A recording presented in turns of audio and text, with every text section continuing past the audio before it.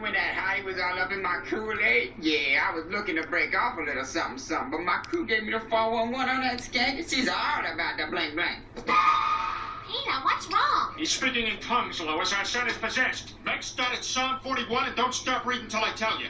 The power of Christ compels you. The power of Christ compels you. Peter, stop. He's not.